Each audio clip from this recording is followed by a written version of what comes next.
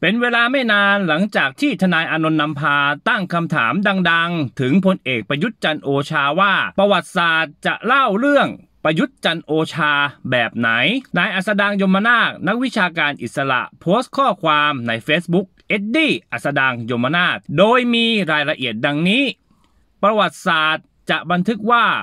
ประยุทธ์จันทร์โอชาไม่เคยคอร์รัปชัน ไม่โกง เลื่อนวันหยุดเพื่อให้ภรรยาไปโอนที่ดิน ไม่โกงภาษี โดยขายกิจการของตนเองให้ต่างชาติโดยไม่เสียภาษี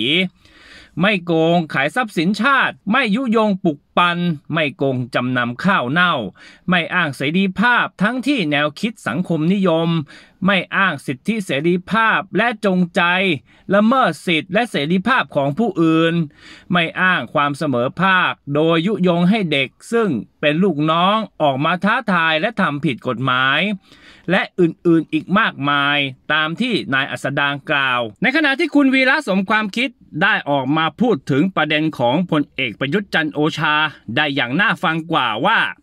ไม่ว่าคุณจะเป็นใครจะรัก จะชอบจะเกลียดหัวหน้ากบฏประยุทธ์จันทร์โอชามากเพียงใด คุณก็ได้รับผลกระทบจากการบริหารประเทศที่ผิดพลาดล้มเหลวของหัวหน้ากบฏด้วยกันทั้งสิ้น โดยเฉพาะด้านเศรษฐกิจบริหารไม่เป็น แล้วยังอยากจะอยู่ยาว